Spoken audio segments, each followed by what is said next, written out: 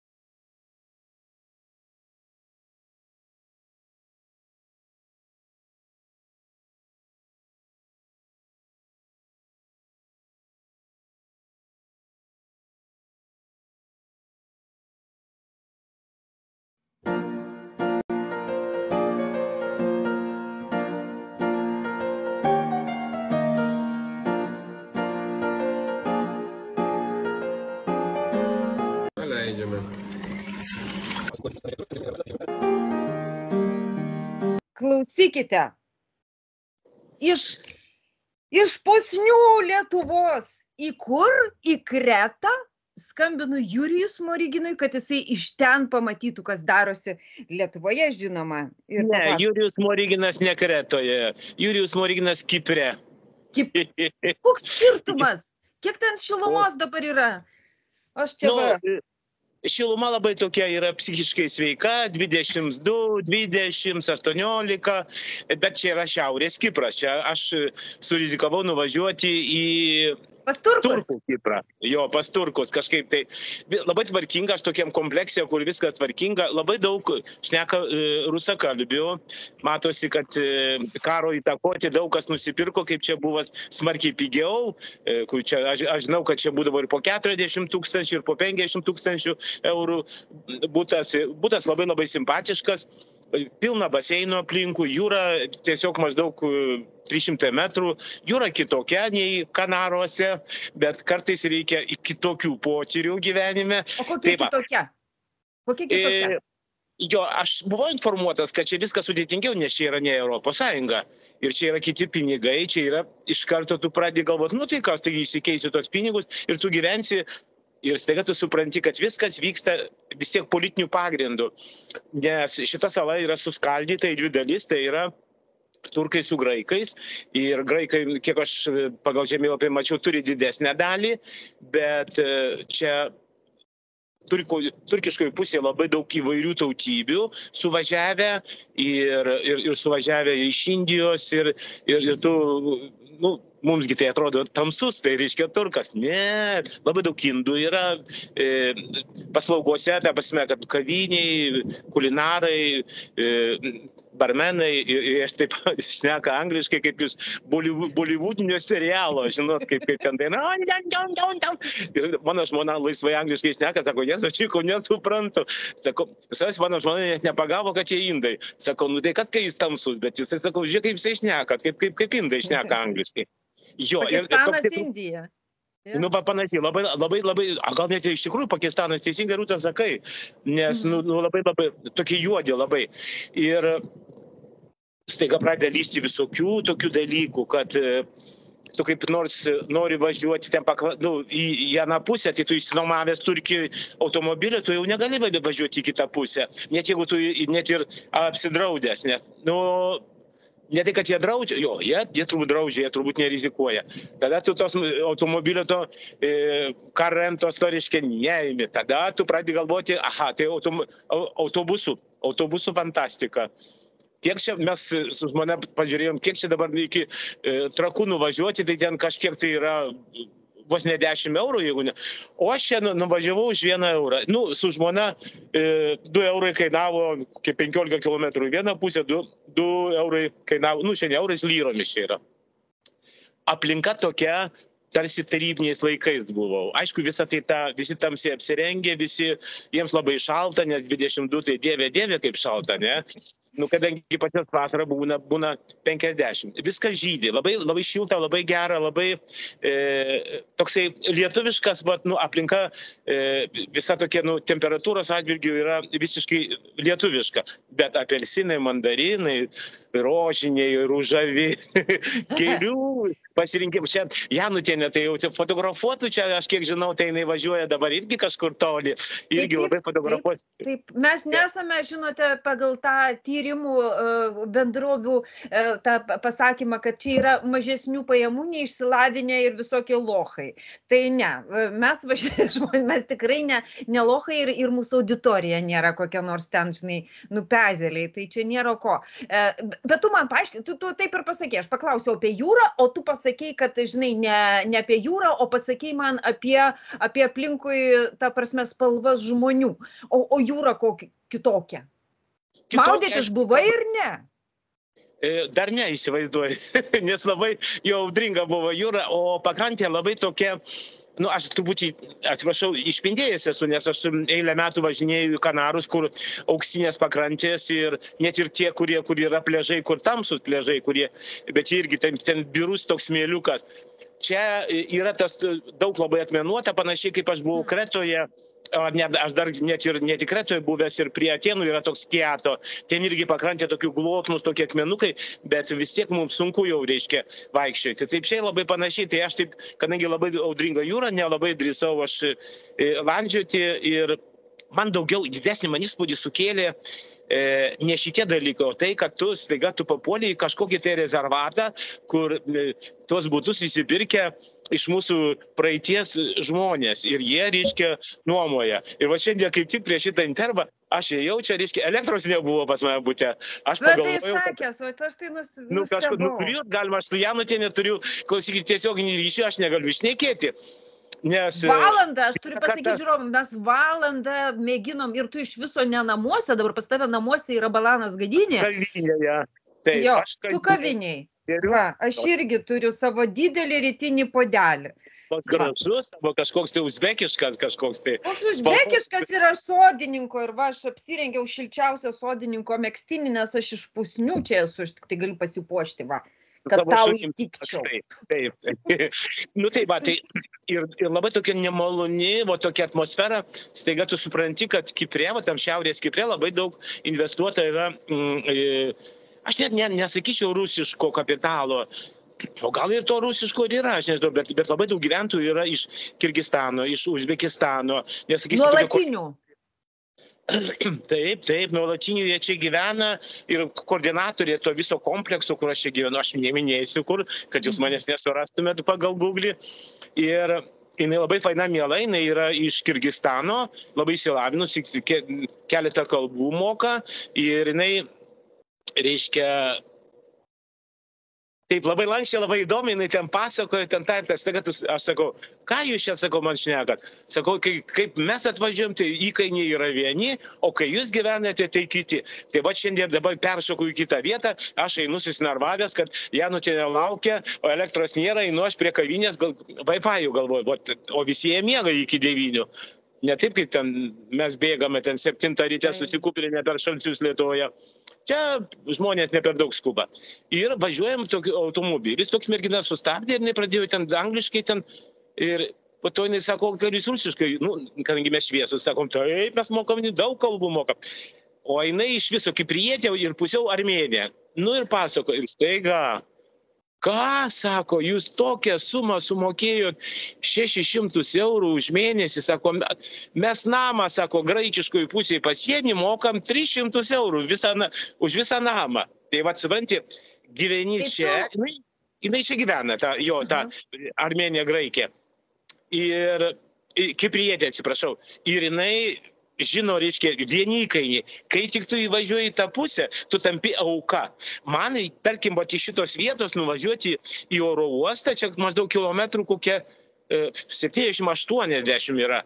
Man reikia mokėti 100 eurų. Oho. O kitas, reiškia, atėjo internetą man pajungti. Jis sako, tai, nu tai jūs galite taksi užsisakyti, sako, 80 eurų. Žinai, kad tu supranti, kad tos kainos plavinėja nesuvokiamai. O jeigu tu turėtum kokį nors labai gerą pažįstamą, tai turbūt tave nuvežtų ir už 50 eurų tuos 80 km. Ta prasme, staiga tu įlindau į jų atlyginimų, reiškia, skalę ir tu supranti, kaip įdomiai. Jie gauna apie 8-7-50 vyrai, o moteris gauna rutelė nenugriūk. Janu, tai girdi, daugiau neduok, tik tai tiek, 250. Įsivaizduoji, iš karto vyksta... Patekai į Turkiją pas, pas tikrus taip, konservatorius. Taip, taip. pa, va, va, va, va, teisingai. Ir įsivaizduoji, jo, bet taip ženkliai, tu įsivaizduoji. Ir vaikšto, reiškia, moteriškės yra vaikšto ir su tom skarelėm, va ta mūsų, reiškia, koordinatorė su skarelė, bet neatvykusi iš, iš mūsų to krašto. Ne, kiek negyvena, aš... Va, neužsiminėjau, neklausinėjau, bet nes čia labai tokiom šitrom akytėm visi žiūri, tarsi kažką žino, bet nenori pasidalinti. Tarkim, tu ofisanto klausi, sakai, o klausyk, tu čia, nežinai, jeigu aš į Larnaką nuvažiuoju, o Larnaką jau graikai yra. Ir jisai sako, I don't know Larnaką. O. Tu supratai, Airė? Jis, jis nežino, kas yra Larnaka. Okupantas, jisai yra čia, tu kaip Kryme dabar esi ignoracija, pilnas ignoras, absoliučiai pavadinimai turi būti, taigi Larnak ir turi turkišką, dabar aš kažkaip iškrito man, kitokie turi pavadinimai. Ir jeigu yra Nikosija vienas pavadinimas, tai kitas yra pavadinimas. Ta prasme, kad čia vyksta ne tik tai moraliniai, bet tokie kažkokie tai nu, žiaurūs nacionaliniai dalykai ir politiniai. Ir aišku, labai akcentuojama, kad čia yra labai saugu ir tą tu jau labai jauti nes be kalbos iš to turizmo čia kas atvyksta, nes čia yra labai kompleksai ir va dabar statosi, čia labai nedaug. O sakysim, trys tokie namai didelė, aš va paimsiu ir parodysiu, galima? Parodyk, parodyk, parodyk, parodyk, labai įdomu. O, vaikeli, buržujus. Oho. Dar yra ir trečias toks namas. Ir va šitas namas, mano name gyvena čia dešimt aukštų namas, ant viršaus baseinas, mes ten su žmona deginamės, maudomės. Vanduo toksai, tarp kitko, kaip Atlantė, kai nuvažiuoji į Fortaventūrą, tik tai ten, mat Fortaventūroje truputėlį daugiau laipsnių, bet labai nedaug. Bet labai panašus klimatas. Čia truputį daugiau vėjo yra.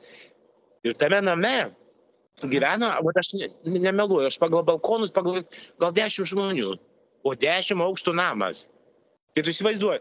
Ir čia matyti, ar tai, nu, yra ir nuosavybės, bet aš galvoju, kad čia viskas yra nuosavybės.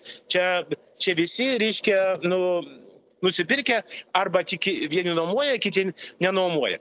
Ir dėl to kiekvieną, kas įžengia į šitą rezervatą, kaip pavadinau, griebė už šiprinos ir iš karto momentaliai tave pradeda taršyti.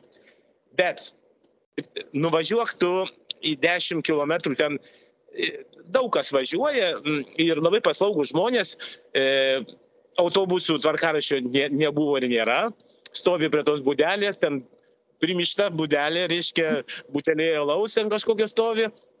Ir bėga toks vyriukas, reiškia, ir jis iš karto jau rusiškai su tavim.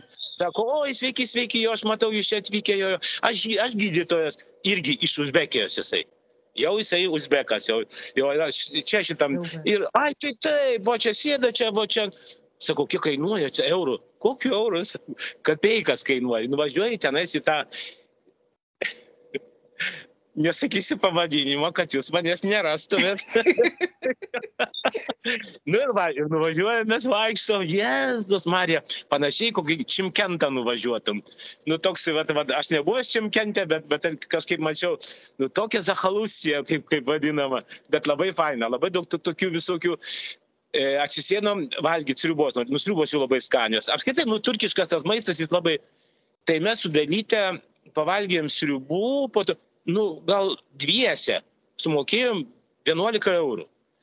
Tai čia, tu, kur, kur čia, vat, vat, nu, čia labai, nu, faktiškai tai, tai iš tikrųjų nedaug. Ir aš, nu, kadangi aš į parduotuvės nevaikščiau, aš dalios klausiu, sakau, dalytė, o tu kaip sakau, kainos panašios. Nu, ne, jinai, ta prasme, ženkliai viskas krenta, krenta, krenta. Mhm. Bet jeigu tu nesi rezervate, va aš dabar sėdžiu kavinėje, jo, jau truputėlį kainos ir didesnės mes tai dar kita yra kavinė, ten jau visai prie jūros, tai mes vakar išleidom e, 30 eurų per abu, jinai gėrė e, tą kefyrą turkišką. Kaip jisai ten, yra- ar, a, a, a, a, Nu, va, Iranas? dabar Iškrito, labai jaudinasi ir iškrito. Ai- ai- Airanas, va, va, va, Iranas, Iranas. va, va, va, Iranas toksai, bet aš jo negeriu, sakau, aš atsiprašau, Ar, sakau, arklių kumelių pienas ten. Taip, bet jis vienas iš sveikiausių yra. Mhm. Labai neskanu. Įsivaizduok, valgėm erienos kotletukus. Eriuko, eriuko kotletukus. Kotletukų daug. Žolių, faktiškai visas stalas buvo užkrautas starteriais, mokėjom 30 eurų ir, ir, ir aišku, aš senas alkoholikas, geriau vyną, vyno taurė, ge- gero balto vyno, va, va tiek va, kainuoja 2 eurai. Tai pasako, pas mus kiek mokėtum 5-6, ne, turbūt Taip. kažkur. tai. Taip. Bet geras baltas vynas, taip. E, Maistas labai, nu, e, ta prasme, kad geras maistas. Ir, ir kaip žmonės sako, oi, čia iki 30 eurų. Ir norėjau, kad visai užkabėjai, kad gal. Sakau, tu palauk truputėlį, tu pažiūrėk, kiek visko čia, koks komponentas. Kiek čia visko, e, visko čia pristatyta. Kiek mes tai gautume va, va, va šito du tokius mažiukus kotletukus Lietuvoje. Taip. Vyną sumokėtum, reiškia, aš kainuočiau kokią ten 14-15 eurų, vien tik vynas kainuotų. Taip, faktiškai mes žmogui tu 30 sumokėtum. Už, už tiek maisto ir visko vienam žmogui 30. Taip, taip, jo, jo. Bet kadangi tokia legenda yra truputėlį, oi, ten viskas labai pigu, ten tokios vienos bubutės pažįstamos čia e, turi irgi būtą, tai sako, oi, čia mes už 5 eurus pavalgau. Nu, aišku, jinai važiuoja ten į tą miestuką, ten kur šalia, tai ten iš tikrųjų, ten sriuba buvo e, 5 eurai. Bet tai bai, nebaisu valgyti, pavyzdžiui, rytuose yra baisu valgyti Švar- išvažiavus. Šviru? Šva- oi, ne, ne, ne. Čia yra ne tie. Aš buvęs ir tuose kraštuose. Ne, ne, čia labai švaru, labai svarbu. O čia šitam, kur aš esu rezervatė, jo, tai čia iš viso, nu, tokia Europa, Europa. Viskas išvalyta, iš karto vergai vaikšto, vis, tvarko visi tratuarai, vis, ne vienos šiukšlytės, tualetas. Nu, aš ir kaip truputėlį nuodėmę padariau. Toks truputėlį hipochondrikas esu. Į tuliką nuėjau, reiškia, rankas įsi, išsivaliau popierių ir žiūriu tokį truputį parūdyjusi tokią, reiškia, šiukšlynę, galvoju, ai, pirštais nesiliesiu, ant viršaus padėjau. Ateinu, vyno pagėręs, po, po kokių dešimt minučių, nėra tų popieriuko. Jau kažkas atėjo, jau surinko, jau įmetė ten panašiai. Tiesiog čia labai labai. Ir po to mes ten kažkur viešumoje, aišku, autobusai tai tokie kaip e, 1900 maždaug 70-ais, nei gal net 65 Lietuvoje buvo tokie, žinai, bet aš atsimenu, į aukštosius šančius toksai klip, klipinėjo, toksai sugriuvęs toksai. Tai va, va čia tokie važinėja, autobusai tokie. Aišku, yra tie, kurie vežioja ten iš oro uosto, tai jie, bet va, žmonės gyvena, čia va taip, va, du sluoksniai. Čia yra turkai, tie, kurie gyvena šitą gyvenimą už 700 eurų. Ašgi tų visų įkainių nežinau, kiek jie už, už tos. Va, benzas kainuoja eurą. Net nepilną eurą. Tai dėl to tu supranti, kad vieni, va tie gyvena pagal vieną, reiškia, kišenę, o tie, kurie atvažiuoja, gyvena pagal kitą kišenę. Bet ir tai e, mums čia yra labai labai e, pigų, nes, sakysim, aš gavau biletą lėktuvą atskris, irgi labai mes labai labai nedaug mokėjome, aišku, dar randa, sakė, dar pigiau atranda, sako, tie, kurie, jeigu čia tu nekilnojamą turtą turi, tai tu gali visiems metamgi susipirkti, teisingai, tu įsižiūri, tai sakė, ten vos ne po 70 eurų gali gauti į abu galus vienam žmogui. Oho. Mes mokėjome apie 3 su lagaminu, nes mums reikia labai daug tokių parėdų vežti. Aišku. Parėdai. Nu, durneliai, kaip sako.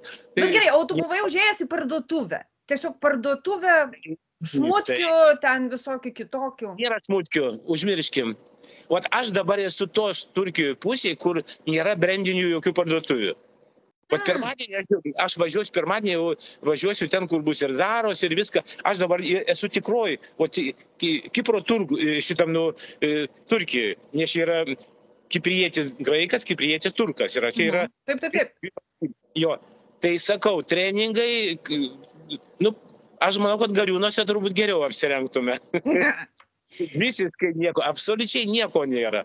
Bet kainos yra labai labai labai yra mažos. Nes mums čia reikėjo nusipirkti kokį tai rankšluostį, tai nu, irgi labai labai nedaug. Nu, mūsų rankšluosčiai kainuoja ten kokie 5-6 eurai. E, jeigu tu įkėjai, tu tarsi nusipirksi, nusiektų kažkaip tai. Kažkur ten, nu ir, ir Vilnių galima papigiai ten kažkur tai rasti. Bet nu tiesiog vat, viskas vat, ženkliai, ženkliai, ženkliai yra pigiau. Per pusę. Kai kur yra per pusę tiesiog.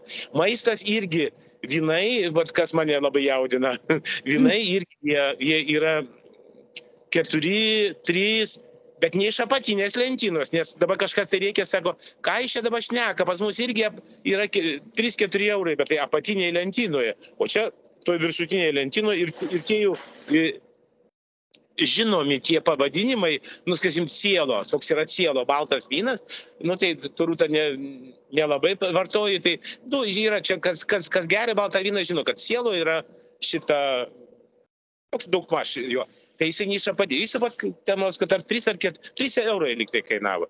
O gerai, o nu, jie patys ką nors daro be to, kad pjauna eriukus ir daro jums kotletukus? Jie sako, kad ir vyną jie gamina, ir, ir raudoną, ir baltą, bet čia atnešė man oficiantas raudono vyno, nu toks visai nieko, bet aš galvoju, kad jeigu aš išgerčiau butelį, tai man turbūt galvas skaudėtų kitą dieną. Tai, Saldus? Ne, saldus?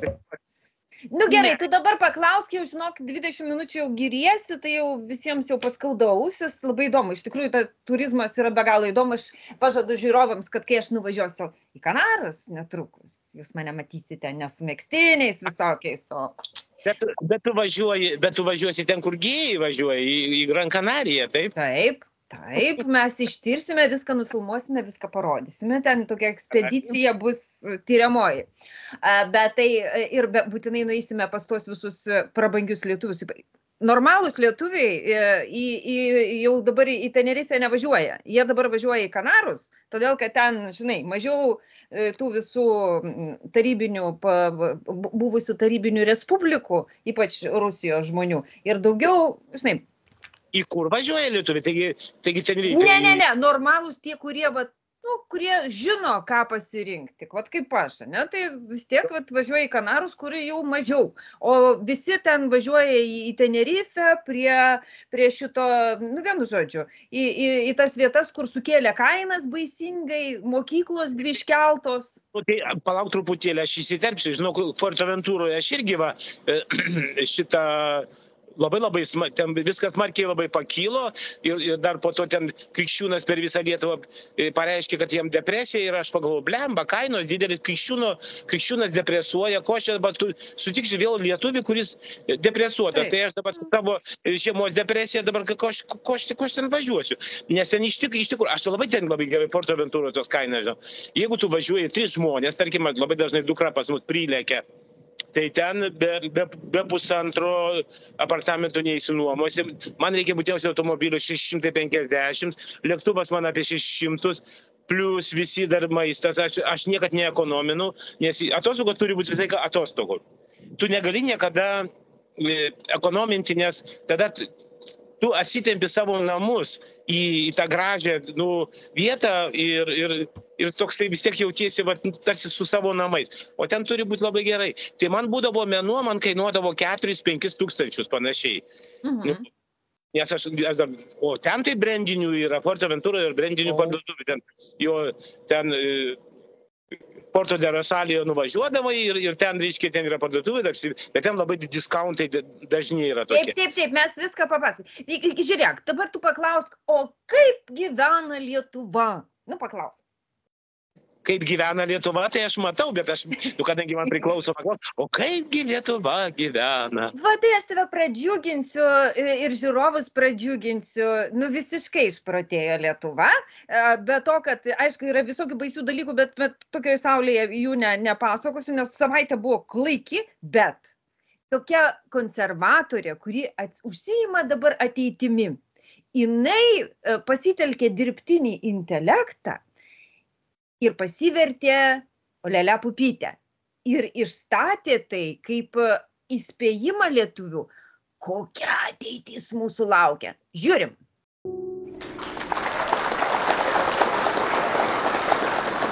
Dirbtinis intelektas atveria naują žmonijos epochą.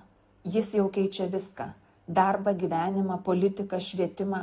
Ateitis prasidėjo jau vakar.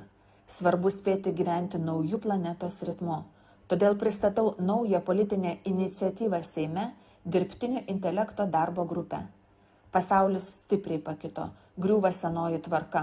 Vakarų demokratinė civilizacija patiria rytų diktatūrinių civilizacijų iššūkį ir kas pasieks proveržį vystant dirbtinį intelektą, tas ir nugalės išlikimo mūšyje. Kol dar laikas, turime būti ne tik žiūrovais, bet ir aktyviais strateginiais žaidėjais. Sudedi dirbtinį intelektą su konservatorė ir gauni oleleškę. E, va. Olelę pupytę. Nu, ką tu pasakysi? Aš galvoju, kad iš viso politikai užsiminėti tokiais dalykais gal visiškai nereikėtų, nes tu, tu pradedi labai stresuoti, kad e, tavo gyvenimą valdo e, e, madinga moteriškė. Ir jinai, užsimė, jinai užsima ne, ne valstybės reikalais, o jinai užsiminėja kažkokiais tai šau e, komponentais. Nu, čia man daugiau tiktų, va aš dabar, tarkim, net irgi dalyvauju pas Janutinę, kuri e, laidoje, kuri, nu, yra vis tiek tokia politizuota žurnalistė yra. Bet aš vis tiek kažkokia, ne, e, į mane vat, e, žiūri turbūt žmonės taip lengvai su šypsena, nes žino, kad aš ne politikas ir aš e, neatsakau už jų gyvenimus, kaip sako. O ponia Petrauskinė tai atsakinga už mano gyvenimą, už tavo gyvenimą, už kitų, nes jinai kažkokią tai dar pareigybės turi, ar ne? Taip, taip, taip, jinai, atei, nu, jinai vienu žodžiu, ai, didžiausius pinigus siurbia pas mus visas, bent jau anksčiau siurbdavo IT sektorius ir visiškai nekontroliuojamai. Tai jinai va šitam visam reikalui vadovauja ir nuolat pasakoja visiems, kaip mes atsiliksime, kaip mūsų žmonės yra atsilikę informacinės technologijos, visa kita, bet kai jinai pasinaudojo dirbtiniu intelektu, tai jinai didžiausią dalį investavo į tą tokį gražų kostiumėlį. Ta prasme, pakeitė. Palauk, čia... Nu, vien, Leliaiškiai. Palauk, truputį, Rūta, tai gal čia taip gavosi, kad dirbtinis, dirbtinis intelektas e, ją, kaip sakant, išoperavo ir ištraukė, kaip iš tikrųjų jinai viduje yra, kaip ta yra, e, kad ne kaip pupytė yra, kad jinai faktiškai nėra rimta politikė. Dūrų, jinai, dūra tokia. jinai, save, savo, jinai natūrą apnuogino savo. Gaunasi taip. Taip. Gerai, nu tiek tos Petrauskinės, tegul ten e, kosmose jinai ir gal negryž dar. Tai irgi. Žiūrėk, kaip tu dabar čia rimtas klausimas tau. Ką tu renkiesi, paukščių gripą ar listeriją? Pas mus yra pasirinkimas tarp užkalnio koldūnų ir tarp e, beatos koldūnų. Vieni iš, galimai iš šitų kalakutų dvieselenos, kur sako, pavirsit, pavirsit ir nenumirsit. Ir yra senieji tie jau užkalnio koldūnai, kur gražulio koldūnai buvo, su listerija. Tai vad, jeigu tau būtų patiekta ant tavo prabangaus stalo vat, su listerija ar su paukščių gripu, kurį tu pasirinktum? Bado atveju. Nu, aš tai e, apskritai nesu mm, e, ponios, e, reiškia, kaip jos ten pavardė? Beata Nikolson. Beatas Nikolson, nu, gerbėjas, man, man apskritai jos veikla labai mane truputį gazdina. Jinai geras specialistas, jisai sukoncentruotas yra vienam, vienam e, e veiksme yra. Jinai man per daug plačiai išvešėjo Lietuvoje. Ir mm, visas tas jos jinai ir žurnalistė e, šou programoje, jinai ir žurnalistė virtuvės programoje, jinai ir fabrikantė, koldūnų fabrikantė. Man, mane tai gazdina. Aš galvoju, kad nei ten ryšys nutrūko, rodo man. Ne. E, ja vertinu labai skeptiškai, nes e, čia kažkokia labai universali, unikali tokia žurnalistė. Aš nežinau, ar nebaigusi žurnalistiką. Ir, ne, ir televizijų laidų vedėja, ir šou e, vertintoja. Liktai jinai nemeninkė. E, po to ir jinai ir virtuvės grandė, ir jinai fabrika, koldūnų fabrikantė. Kažkaip man truputėlį, labai, aš labai bijau tokių žmonių. E, e, man truputį tokia avantūra e, trenkia. E, ir, aš dėl to ir nenustebęs, kad ta produkcija kažkokia pasia gali būti blogai. Gal dėl to, kad jinai... kažkoks liutukas daro ir, ir jinai tik žino. Truputėlį, bet Palauk, palauk, palauk, palauk. Ne, Rutelė, atleisk, prašau. Jeigu tai yra po tavo pavardė, tu turi būti atsakingas. Tu turi kiekvieną kartą išbandyti ir, ir ant savęs išbandyti, nes tugi tai visą tą pardavinėsi iki žmonėms.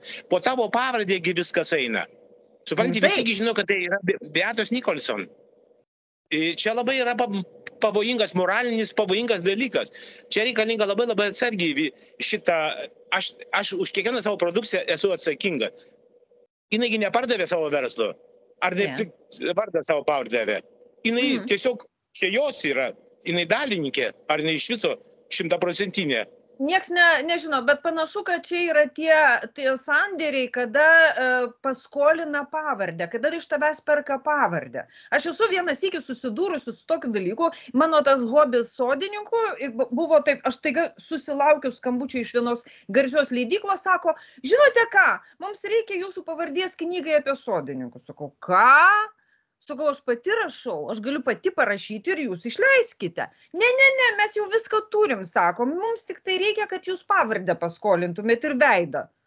Nu, blemba, klausyk, nu, žinai, bet tai aš spėju, kad čia yra tie tokie sandėriai, kada e, ga- gamina, aš pavyzdžiui, tuos e, užkalnio koldūnus, taigi mačiau, kaip daro, iš, e, darydavo ten iš, iš ko ten, iš sojos. Aš ten mėsos neradau toj koldūniniai visoje, aš ten buvau įsibrukus kaip visada. Žinai, įsibrukau pasižiūrėti, iš ko daro. Tai iš miltukų, kurie yra ten bruknių skonio ir iš sojos. Ir visa tai yra pasisako, oi, čia iš lietuviškų ten to, dan, dan, dan, dan, dan, dan. Kažkoks tai tavo, tai va, tai tu man papasakok, pradėjai ir paaiškink, vat, veido savo ir įvaizdžio skolinimas kokiam nors, atsiprašant, še e, tešloj. I parduoti pavardę yra labai sudėtinga tokiuose mažose e, šalise, kur daug labai avantūrizmo yra. Ir aš atsimenu, kai vieną kartą e,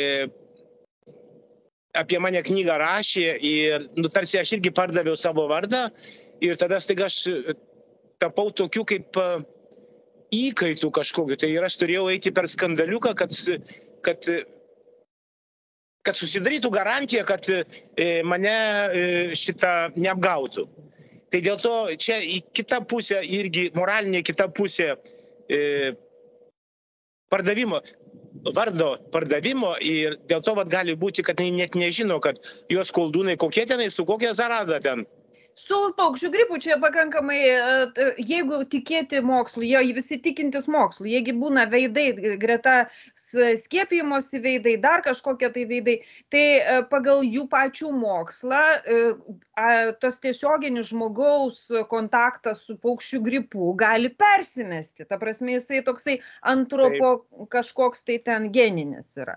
Ta prasme, jisai pe, peršokantis. O jinai sako, žinote, šunims neduokit, jis sako vieni, ne, rimi sako, šunims neduokit jokiais būdais, atiduokit, išmeskit arba duosim pinigų. O jinai sako, ir čia yra šakė, žinok, sako, jeigu termiškai apdoroji 72 e, laipsnių temperatūroje, paverdi, jinai rašo, paverdi 72 ar 4 laipsnių temperatūroje. Tarsi, čia jau idiotizmas, toksai dvelkia Kas- švelniu ne-. Ne, idiotizmas, čia eksperimentas pradėjo. Kas išgyvens? jo, jo. Tai, Kas jei, nedadirbs, tas neišgyvens. ir jei ten rašo, sako, žinai, ponička, vaikai apsitriedė, žinai, apsivėmė, dar ko nors, jinai tą nereaguoja. Jinai, bet tai, vis, bet tai dabar uh, anšlaginis toksai nuolaidos per pusę visom, kol, visom kur jos tik tai veidelis, tai yra seilas. įsivaizduoji, palauk truputį, gal čia reklaminis dalykas, gal čia iš pirso išlaužta. Gal čia jinai nori Ne, seną ne, produkciją išdvėsė, parduoti. žinok, kalakutų išdvėsė tonomis. Iš tikrųjų įsiveisė paukščių gripas ir, ir dabar yra tokie, žinai, gandai, kad, tipo, žinai, pagailėjo ir su, su čečkavojo visą tą reikalą į, į tos koldūnus. Nu, taip, vienu žodžiu. Tai tu nepritari tokiems dalykams, ne? Ne, aš apskritai nei- duonos nevalgau, e, tos šlapios e, beatos, nei, nei, nežinau, nu, kažkokią antipatiją aš jaučiu, nežinau kodėl. Vat, a- jūs man atleiskite, gal tai labai subjektivu, bet, bet, bet aš labai nepasitikiu tokiais dalykais. Man turi būti specialistas, man turi būti, aš žinau, kad tai yra maisto gaminimo specialistas, o ne, o ne kažkokia tai e, moteriškaitė, kuris taiga vat, atsibūdo, spraktelio ir, ir, ir sugalvojo, kad negali e, ats, atsakinga už koldūnus būti. Nu, ja, va šitas momentas, kad jinai nesijaučia atsakinga už tai, kas e, jo, jos vardu pardavinėjama, tai yra keista, nors, tarkime, kol jinai buvo tik tai vyrėja, tai ten jos tie visi, jinaigi kursus baigė, kažkokius tai virimo Londone. Dar kiti žmonės yra, kurie gali ją pakoreguoti joje. Jo. O tai jinai kaip baigė, tai labai, e, aš pavyzdžiui, iš jos, iš, e, iš jos ten tų visų receptų išmokau daryti fantastiškus braškinius ir, ir šokoladinius ledus. O to tie receptukai jos yra paprasti ir aiškus ir ten viskas gerai su jais. Rūta, užmiršk, prašau, saldumynus. Pas mane atėjo IT, IT pajungti internetą, Bakūras, 27 metų, mes jam helvos pasiūlėm, kaip turkiškai sakoma. Sako, no, no, thank you. Sako, cholesterol. Ir viskas, tu va prašau, o tu matai valgyti tu saldumynų. Saldumynai yra nuodas. Saldumynai yra smegenų maistas. Aš sportuoju. Aš sportuoju, aš 15 minučių kasdien pritūpimus darau, dabar kai šalta. Ir, ir dar visai ten pilvas, ir rankos, ir viską darau. O aš, o aš, dabar, auginu, aš dabar auginu pilvą. Gerai. Aš tai pavyzdžiui, kai išvažiuosiu į šiltus kraštus, aš pavyzdžiui labai mėgstu bėgioti pakrantėmis. Jezus, aš nusifil, nufilmuosiu taip, jiems ir įdėsiu sulėtintai, kaip Janutė neplasnoja pa, pa šitais. Va, pasikalbėkime toliau apie visokius dalykus.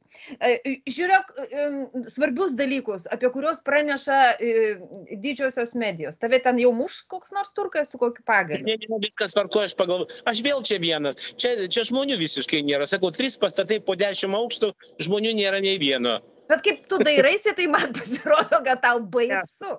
Aš pagalvojau, kad e, ar, ar liko kas nors kavinė, nes aš čia prie kavinės šitą priengiu, va čia baseinas, jeigu jau kai tu mane damuši, tai į baseiną nersi, eisiu. O mes matysim, nes tu nogas mėgsti nerti į baseiną. Ja, turkai, turkai ir nuokybė, tu ką juokauji.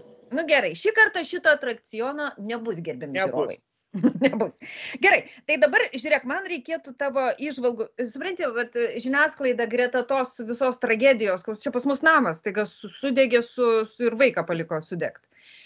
Ir greta visos tos tragedijos, visai šalia uh, Delfis patalpino skaudžią žinę. Nudvėsi užkalnio ir leščiauskaitės Faustos kalė. O čia toksai yra uh, uh, skaudulys. Įdomu, tai, Bilotaitė eis laidotuvės ar ne? Šuo nudvėsė, o kad e, vaikas e, su... Ten du žmonės, ne? Du žmonės sudegė jo. Taip.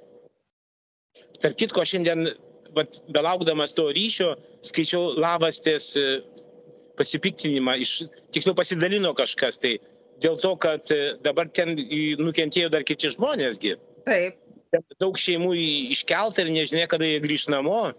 Ir jie nieko nekalti. Ir jinai labai gerai pasakė, sako, kaip keista, sako, dabargi tiek daug labai e, būtų negali parduoti, taigi sako, tie aptekę milijardais e, statybinės viso, tai kodėl negalėtų suteikti, nu, būtus jiems nors laikinai gyventi, nors lavas jie sako, jiems padovanot būtus. Nu gerai, nu, padovanot čia kaip sakant, žabą davėt, kaip sako, nu, bet man įbėsas, bet nors, kad jie kaip, jiegi tai ne asocialūs į savo būtų išsikėlė, jiegi galėtų pagyventi kitose būtuose, pakol ten viską jiems, čia geri, tas remontas ir restauracija, taigi čia labai ilgai vyks, nu. Tai va, čia yra dar kita moralinė. Čia mano pirmosios buvo pasiūlymas, žinai, kad va šitie visi aptekę ir iš valstybinių pinigų aptekę turtais, dargiai, jabuliai, kurie čia arba tie balt pakas, taip, kuris, taip. žinai, iš, už, už penkis kartus didesnę sumą nori statyti tą stadioną, ne? Baltkepas, kur Landsbergių irgi Landsberginiai tą mokyklą pastatė. Tai vat galėtų sureaguoti, būti socialiai atsakingi ir taip toliau padovanoti. Jiems giniai plaukas, jiegi ten iš popieriaus stato tuos namus. Supranti, supranti kaip yra. Vat, e, žiūrėk, o tu turi 100 eurų ir aš turiu 100 eurų, taip? Uh mhm. -huh. Ir kai jeigu mums pasako, kad 50 eurų, mums sakom, o brangu, bet kai žmogus turi milijoną, taip. o tada kyla skalė, supranti, o jeigu jis turi 100 milijonų, tai jam dabar atiduoti kiek ten reikės, kiek ten tų šeimų, Nu, tarkim, sakau, nu, bet... Nu, vieną milijoną atiduoti. Nu, pavyzdžiui, už ne, milijoną, žinai, negali, nupirkti negali. būtų. Man ten labai gerai dar lavasi pasakė, man labai gerai pasakė, sako, palaukit, mes tiek, sako, e, ukrainiečiams paukojame, sako, o mes negalime paukoti mūsų, e, mūsų žmonėms, kurie gyvena. Aš sakau, aš nežinau, ar čia, nors man viena estė man savo laiku yra sakiusi, sakau, nežinau, sakau, turbūt tautos, kuri viens kitą taip ne, ne, nemėgtų ir nekestų kaip lietuviai, turbūt nėra. Sako, baig, sako, sako, yra, yra ir pas mus ta, taip pat Estijoje irgi yra. Bet aš negaliu patikėti, kodėl vat, mes taip mylim tos svetimus, kodėl e, mes e, visais būdais e, stengiamės padėti kitiems, O, o savam žmogui. Ne, savo, savo, savo žmogaus ne. Nežinau, aš net ir dabar mene, tarkim, pažiūrėkit, kas vyksta operos baleto teatre. Nu, aš vis laik apie, apie tą operos baleto teatrą. Visi atvažiuoja užsieniečiai statyti. Mūsiškių beveik niekas nieko nestato. Niekas nerežisuoja. Vienetai.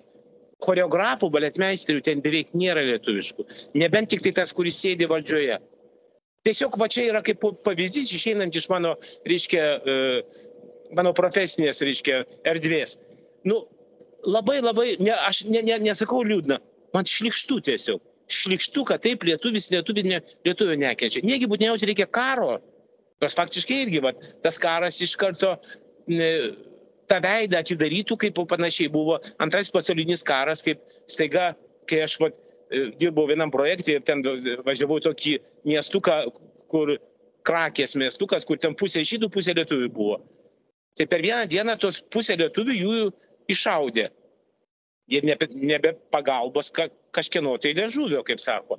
Nes irgi va ta tokia neapykanta, pavydas turto, čia viskas, viską lemia tas turtas. Lietuvai šiaip jau nedaug dievė karas, nes jinai atidarytų tos požemius, dušios požemius, kuriuose ta Vilneva Nes pokaris mūsų buvo baisus, tas skundimas, tas vidinis susipriešinimas, jisai visi moraliniai, žinai, skrupulai. Dar yra kita pusė, yra dar kita pusė. Po antro pasaulinio karo tiek prigimdyta yra pusiau lietuvių, pusiau rusiukų, pusiau dar kažkokiu tai tokiu. Nu, nu kaip, kaip šimonytė su, su, su demonai, demonai išlystų, supranti? Taip. Jis nežino, va, tarkim, va aš jau mes čia vienoje laidoje kalėme su tavimi, aš sakau, baigtų čia mane ruskiu vadinti, jo. Aš, aš nevadinu jaučiu... ruskiu, aš tave rusų vadinu. Ne dėl to, aš ne, man, man tai patinka. Aš labai didžiuojuosi savo kraujais. Bet yra žmonių, kurie, žinau, pasirenka, vat, čia kaip tas sutikau Armėnę, Kiprietę. Tai aš sakau, o, jūs Armėnė. Ai, ne, sako, aš daugiau sakau Kiprietė. Jis, reiškia, nelabai Armėnė jaučiasi. O čia atsirastų toks atvejis, kad staiga, jeigu čia tas rusas užeitų ir staiga tik sakytų, man, aš didžiuojuosi, kad aš esu rusas. Išverstas kūrių kiek daug. Kiek išverstas kūrių daug. Bet pažiūrėk, kaip, kaip, kaip suokia pagal, pagal, pagal lelelę, pagal viską, absoliučiai. Pagal komandą, taip, ką reikia, tas suoks. Tarp kito, tu pačiu. Pinigus. Pagal pinigus. Taip. Aš tau pasakysiu dar, dar vieną, paklausiu dar vieną dalyką. Čia, tai, kadangi jau, kadangi, čia jau kaip ruso tavęs paklausiu.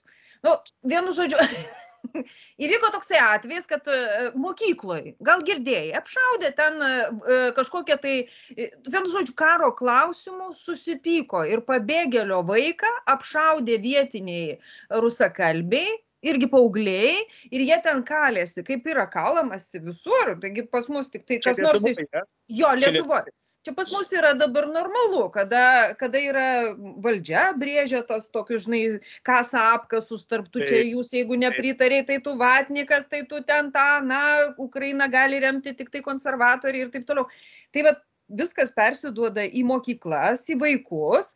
Ir jie jo. ten apsišaudė ir man yra reakcija švietimo ministro. Sako, uždarysim visas rusakalbės mokyklas, mes čia svarstom. Skaičiau, jo, jo, jo, skaičiau. Nu, aš galvoju, kad šito mūsų švietimo ministras, jo. Jo, švietimo ministras toksai jakštas kažkoks tai va ten jo, atsirado. Ir, durnių šita, durnius. Ir, nu, aš taip nevadinsiu, nes aš galvoju, kad jis taip nesijaučia, jis jaučiasi e, kaip po reto proto potencialą nešiojantis žmogus. Nelygiai taip pat kaip ir kultūros ministras, jis irgi vat, viską, irgi taip, taip gerai viską padarė, kad turbūt kiekvieną kartą per balių savo draugams sako, aš išgelbėjau Lietuvą nuo kultūros. o. Nes kultūra nereikia Lietuvai, suprantate? Ne, ne, ne. O viską, ne ir ta kultūra, kuri buvo, reiškia, išmokslinta iš tos praeities, aš nešneku apie e, rusiškumą, tiesiog išmokslinta iš praeities, o kadangi mes gyvename tokioje valstybėje, kur mes mokslinomės į e, to pagrindų Maskvos, Leningrado, ten panašiai, bet mes buvom labai išmokslinti. Ir Tai šiuo atveju tai jie yra dabar tokie visi vienodi, bet viskas baigsis, sakau, rudenį. Rudenį viskas baigsis, absoliučiai pasikeis. Patikėkit manim, aš nesakau, kad bus geriau, blogiau, bet aš negu e, e, elementariausiai, konservatoriai, aš manau, kad taip e, apsijuodino, taip susigadino autoritetą, jie turi kokią 50 metų. Nes dabar tie, kurie gimė e, e, nepriklausomai Lietuvoje, jiems 30 metų jo, tai jie dabar niekad neužmirš, ką pridarė konservatoriai ir, apskrit, ir ap, ap, aplink juos e, apsupė ten tie visi liberalai ir ten, nu, jie, jie faktiškai vis tiek yra prijaučiantis prie viso to. Liberalai visą laiką, tai kas yra liberalus? Čia, žinai, kaip sako, duodu arba čiulpiu, kadangi čiulpiu. Taip, nu, nes mąstymas tai liberalus. Tai reiškia, nu nesąmonė, ar čia moralau. Ne, Ne, baigit. Galima pakeisti skurytę, galima taip galvoti. Nu, ta prasme, kad jie, liberalai, labai labai laisvi ir labai plastiški pakeisti nuomonę, pakeisti politiką. Pa... Nu, tu supratai, apie ką aš nebu. Na, supratau, supratau, kad apie ką ne. Šiuo atveju tai irgi ta nubriežta linija, jinai labai, jinai labai įtakoja ypač, nesakysiu jaunų žmonės, net vaikus įtakoja. Nes tėvai išneka. Net ir tėvai nešneka, tai tada mokyklose visą tai išneka pasigauna šitas, e, e, reiškia, rusas, ne rusas, tai jisai gavo tai žiauresnė ta tokia, kadangi e, jeigu sako rusas, tai sako, kad putinistas. A čia nieko bendro nėra. Putinas šneka rusų kalba, tai čia nieko bendro su rusų kalba. Tai kokia jis kalba turi šnekėti, nes jis rusas, bet yra rusų, rusų e, taurių, išmintingų, kurie pabėgo, kurie gyvena ES, galvų, genijų, jie šneka rusiškai, ne? Kuriuos ir Lietuva irgi gerbė. Nu, intelektualioji Lietuva. Aš nešneku apie tos, kurie autobuse ten mačiau va, kažkokią moteriškę mėtė mobiliaką. Tu, tu, tu matei tą, ne? Siužetą. Aš mačiau, mačiau, tai siaubinga. Pasirodo, tas Igoris irgi iš, jisai iš čia yra, jo, tai reiškia Igoris, Igoris lietuvis. Igariokas. Ikariokas, jisai, reiškia, nu kažkokia nesąmonė. Visų pirma, jinai moteris, jo. Ir jeigu nenusišnekėjo, tai tu būk, atstovauk tą pabaltijo kultūrą. Kaip visą laiką aš atvažiavau mokintis į Leningradą e, 87 metais, jo. Pasakė, jūs, o, pabaltijos tai yra vakarai. Taip. Ir aš visą, aš penkis metus mokiausi e, muzikos akademijoje, aš visai, kad tą vėliavą nešiau, kad aš esu iš vakarų. Aš nors buvau nustebęs, kad aš gyvenu tarybų Lietuvoje, bet aš supratau, kad vertinu mūsų kultūrą, mūsų, mūsų mentalą, viską. Tai ir čia tie bernai, tai tie bernai tokie patys, kaip, kaip tie vatnikai, kaip, kaip jeigu jiems nepatiko ta moteriškė, ką pasakėt, kad, o, nu, ten kažkas, tai tar, tar, tar. Suprantate, susipinė viskas, kaip Balys Ruogas rašė ar čia, atsiprašau, Boruta, Boruta rašė jo, kad susipinė viskas kaip pasakų raštuose. Žmonės jokių negali sugaudyti galų, kuris galas yra teisingas ir kuris yra neteisingas. Painu viskas. Jo, painu ir, ir dar ten didina tą painumą visą reikalą. Bet tu gerai, tu gali pasakyti, va, tu pasakai, va, rudenį viskas pasikeis o tu pats supranti kaip tu vat pavyzdžiui kaip tu už ką tu balsuosi tu turi savo favoritą čia vienas kunigas paturėjo savo favoritą pasakė apie vėgėlę tai dabar muša jį kaip pagaliais pagaliais mūsų katalikai tokie žinai Supranti, aš labai nenoriu, čia yra tokie dalykai, labai mm, asmeniškai yra, kokį prezidentą rinkti, kokią daugmaž partiją, nes čia yra mano subjektyvi nuomonė, o kadangi viskas yra, tai yra e, Aš tai nesakau, nepa, nepasidalink, už ką tu balsuosi, aš tokio neklausiu. Aš ar, sakau, ar tu žinai, už ką tu balsuosi? Aš asmeniškai tai žinau, taip, ne, nes aš visgi pabandysiu, bet už prezidentą kokį tai aš nežinau. Bet e, vėgelė, nu, su, su, su, su tėveliais, kur, kuris vaikšto, mane truputį gazdina, jis, nu, reiškia, nelabai ne savarankiškas kaip po, kaip po vyras nelabai ne savarankiškas. Tai dėl to... Bet tu turi tą jo nuotrauką omenyje, kuris naujų metų proga su tėveliais traviatoje. Nusi... O jisai šeimą turi, ar ne? Jisai turi šeimą, jisai turi be, berots tris vaikus, žmoną tokią, kuri irgi tėveliams dirba, kaip aš suprantu. Nu tai čia per du planas, ar tamanas su tėveliais, o su šeima ne. Tai šeimą slepia, o tai kaip jisai, jeigu bus prezidentas, jisai slėps vaikus ir žmoną? Ne, ten yra kiti, kiti tokie neramum, neramumas tas, kad, na, iš tikrųjų, šeima jam daro, vat, būtent šita šeima, kuri, kuria, su kuria nusifotografavo, jam daro iš tikrųjų didelys į, į, įtaką ir jisai tą deklaruoja, kad, va, ta, jisai visą laiką, kiekvieną kartą padėkoja tėveliams ir visiems kitiems. Čia labai gražu. Kai, mano klausimas yra, aš tai manau, kad jisai instrumentiškai šitą šiuo metu vartoja, nors tai yra visiškai nuoširdu. Aš iš arti tą mačiau, tai ten visiškai nuoširdus tas santykis su tėvais. Bet e, ar paveikia veiks, aš taip įsivaizduoju, čia yra senesniems e, rinkėjams nukreipta tokia subtili žinutė. Žiūrėkit, koks aš geras e, sūnus, kaip jisai, kaip jisai, žinai kai žmonės eina e, į rinkimus, tai dažniausiai vartoja visokias priemonės ir, ir per šuniukus, ir per vaikus, ir per tėvus, ir dababytės, jeigu būtų gyvos, ten, reiškia, aš atsimenu, irgi buvo ten, kaip Gitano, e, mūsų dabar prezidento, irgi, va, ten tėvelis labai dažnai dominavo, ten visur, ten, Taip. ten. Nu, kad toksai, tie visi jautrus tokie e, E, instrumentai anot tavęs jo, jie, jie veikia tam tikrą visuomenės e, e, dalį, be kalbos, bet aš tai visą laiką vertinu žmogų atskirai, be, be jų šeimų, be vaikų, tarsi šeimos negalima pasirinkti arba tautybės irgi negalima pasirinkti. Sakysim, buvo pavardė lietuvių kalboje Krasnovas. Aleksandras Krasnovas turbūt jo. Jis yra lituanistas, nuostabus Kauno lituanistas, kiek, jeigu aš neklystu, aišku. Ir tai jeigu pagal pavardę, taigi, tai būtų, būtų baisu.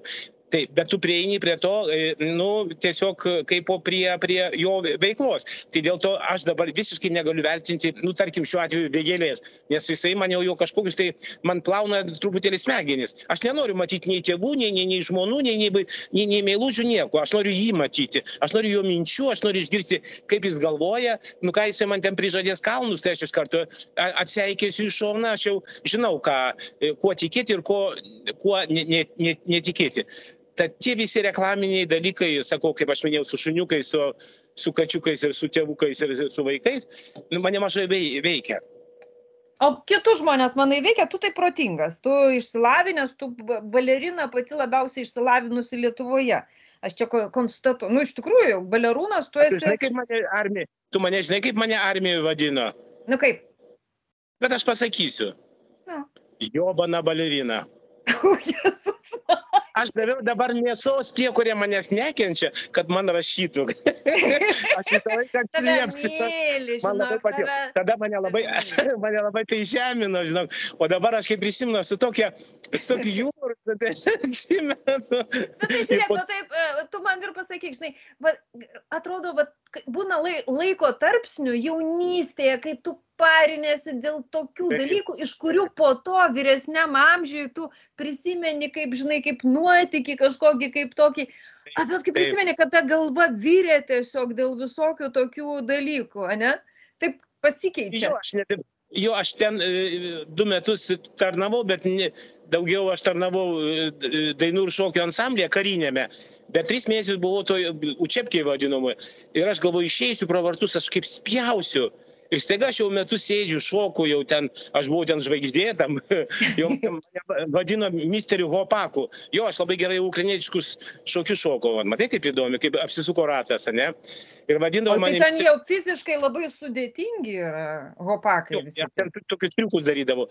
Ir staiga praėjo metai, aš ten sėdžiu ir staiga aš atsiminiau tą tris mėnesius, tą nelaisvę, kai aš, mano žmona atvažiavo mane aplankyti, jinai e, sako, jūsų laukia, sako žmona, jo, nes aš vedžiau armijai nors prieš tai keturis metus draugavau. Ir žmona ateina, aš stoviu, jinai taip pažiūrėjo man yra ir nusuko akis. Aš galvoju, nu geras, jinai nepažino manęs, aš buvau, va, va, va dabar aš rodau specialiai, kad jūs nematytumėt, nes mano snukis buvo per visą ekraną.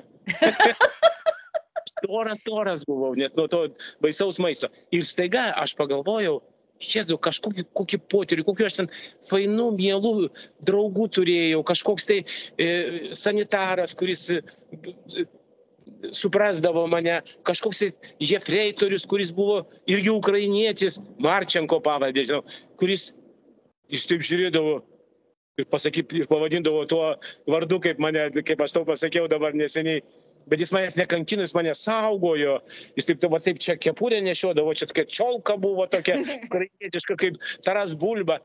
supranti, kartais to juodieji tie laikai, tame laikė, kaip tu jame gyveni, jie būna baisus, o po to gal čia Stokholmo sindromas yra, e, supranti, tu įsimylį savo, e, nu, tas skaudžias akimirkas, gali būti, nežinau.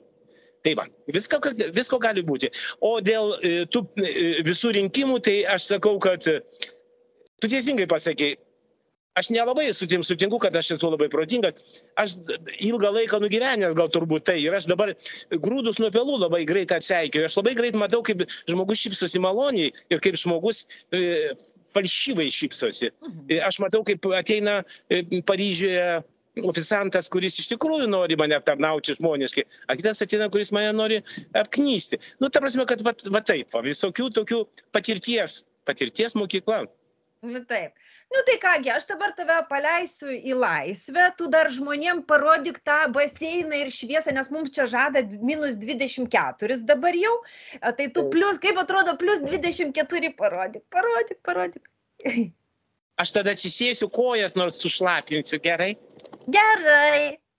Ne, aš nepasėmiau glaudžių. Aš glaudžių nepasėmiau. Jėčiau, tai tu bent jau parodyk, kaip čia galima ateiti. Ai, ai. Ir jūra ten tolė, nematosi? Jūra šalia visiškai, jo. Absoliučiai jūra. Va. Va, Gebuliau, kaip gerai. Čia mūsų rezervatas. Čia Vanka, Manka ir, ir, ir trys uzbekai. Daugiau nieko. o klausyk, o šitą labai chloruotas vanduo baseinė? Ar čia jūros vanduo? Žinok, Visai nekloruotas, absoliučiai nėra. O surus ar nesurus, jie iš jūros traukia ar? Ne, nesurus, gal truputėlį. Nu, bet nekloruotas visiškai kvapo nėra, bet ir dažnai kaip, va. Ne, ne, ne, tikrai nekloruotas. Iš viso ir labai tvarkinga. Visų pirma, ne, net jeigu jis nekloruotas, čia, čia niekas nesimaudo jame. Čia apkrova, jokios nėra. Minimaliai, jo. Jo, jo. Tai va. Nu, tai bučkis tau gerai ilsiekis. Ant stogo yra baseinas, eisiu degintis ir maudytis. Manau, kad jau dalytė ten jau deginasi. Dievulio, labai dalytai linkėjimų ir, ir, ir iki kito mūsų pasimatymo, kuris bus dar, dar aš būsiu iš šalčio, o po to mes, gerbiami žiūrovai, matysimės abu du. Aš iš vien, rodysiu vieną palmę, jisai kitą ir mes jums tiesiog tą gėrį, saulę ir visą kitą nešime, nes saulė pagerins. Graikijos, aš pervažiuosiu į graikišką Kiprą. Va, ir tu papasakosi, kaip ten kitaip yra. Jo, jo. Nes žmonėms reikia pasakyti, iš tikrųjų tai nėra kažkokia tai pigiau negu į palangą nuvažiuoti iš tikrųjų. Nu, aš, tavo, aš iš karto galiu pasakyti sumą. Jeigu važiuoti ne kaip Smoriginas važiuoja, nes aš sakau, aš pas mane kažkokia fatališka atostogų e, e, strategija. Aš atostogauju, tai galvoju, akčiortų atvažiuosiu, užsidirbsiu kažkaip tai. Taip.